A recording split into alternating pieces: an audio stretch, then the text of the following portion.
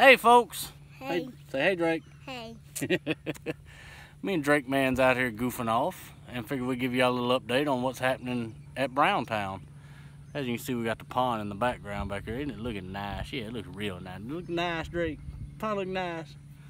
Let's see what we got back there. I bet a little, somewhat of a beach for the kids to play on. Need some more sand, but we're gonna work on that at a later date. Got some of the dock stained. It's coming along nicely. Just got to get some decent weather and not be scared of rain. We've been feeding the fish. Where's my finger? Right over there. They've gotten to where they come up and eat really, really well. And Braylon actually caught three or four bass right over here. Uh, last week, I guess it was. We got some catawba worms on the trees right now, but the catawba worms don't seem to work as well as regular red wigglers out here. I guess it's these brim and little small bass just like red wigglers better.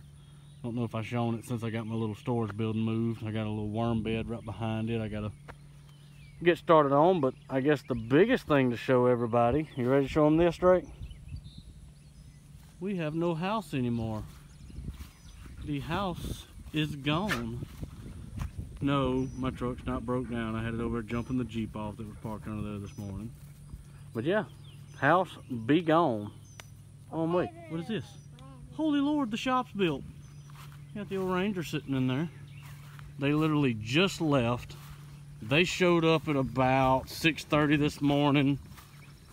Probably started working 7 o'clock, I guess, somewhere in there. And they're done. They delivered the materials a week ago. And the crew showed up today to start building.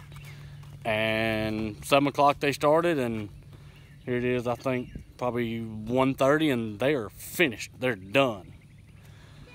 So we have a new 30 by 40 by 10 Gober post out of Oklahoma post frame building.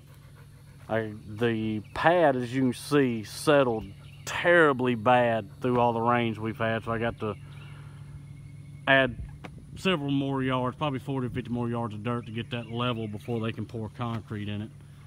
Got my service pole moved over here. It used to be right over there. I moved it here so that the power line wouldn't be over the top of the shop. And I'm gonna run underground power to the shop and then underground power over to where the house will be. This PVC pipe right here is our water line that I've already put a T and a valve in that I'll be able to send water to the shop and send water to the house.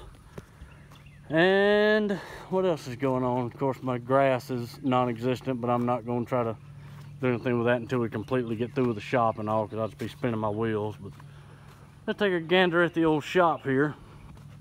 I got the insulated garage doors instead of just the regular roll-up style doors. Those supposedly helping keeping the heat and cooling. We'll see.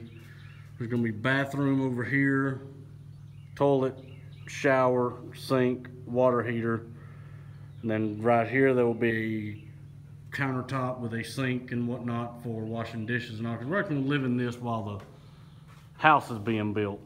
Probably have beds over here or something, I don't know yet. But I'm gonna try to keep all my plumbing for water and sewer all on this side. Just to make life easier on that. But um, this has the bubble wrap insulation. Those are eight foot tall, 10 foot wide doors. It has two windows and then a walk-through door on each side. Like I said, they literally just left five minutes ago, so.